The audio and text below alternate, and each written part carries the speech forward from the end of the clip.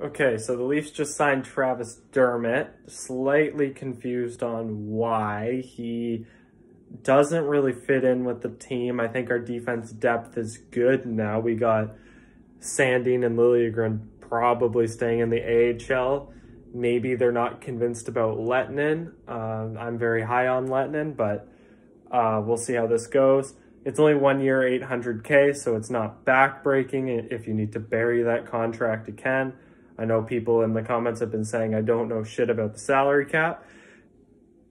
Can you guys look up how to use the salary cap? Because you can bury contracts in the AHL. The Leafs signed eight guys last year for 700K, and we used one of them, and we were still under the cap thanks to LTIR. So next time you want to tell me about how to use the uh, learn how to know the cap, stop, okay? I know how to know the cap. Dubas knows what he's doing, okay? He's signing guys for depth. He's going to bury them in the AHL if he doesn't need them, like that bitch Travis Boyd. And if he does need them, then he can play them on cheap contracts. Dermott's $800,000. He's not a big deal. He's not a very good defenseman. He's probably going to be third pair, so I'm not too fussed about it. But I'm super, I'm, I'm optimistic about Dermott. I still think he can develop. He can play the right side. He's done that.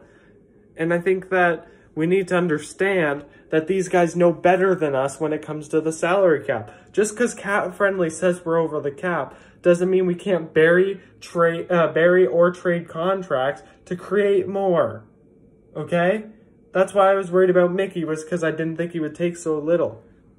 All right, well, Travis Dermott signed. Super happy about that. Dubas still making moves, making my free agency review look even more out of date.